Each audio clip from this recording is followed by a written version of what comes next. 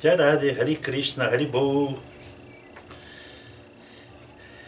No Srimad Bhagavad Gita, Krishna diz para Arjuna Sarvadharman Parityajya. Sarvadharman Parityajya significa abandone todos esses dharmas.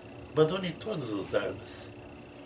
Essa é uma frase muito forte de Krishna, uma frase importante.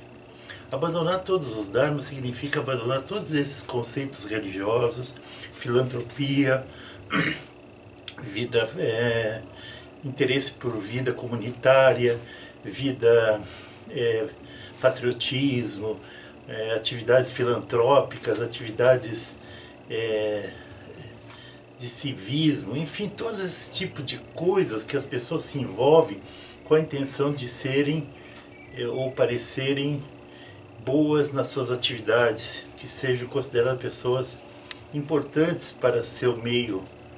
E isso não nos leva a Krishna. Pelo contrário, isso nos afasta de Krishna.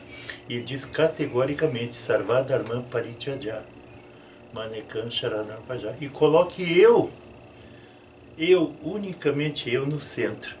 Então qualquer Dharma que não tenha Krishna no meio, qualquer atividade espiritual, filantrópica, humanitária, em que Krishna não seja o centro, nós estamos fazendo atividades karmakanda, atividades no modo da bondade, apenas para a nossa satisfação pessoal.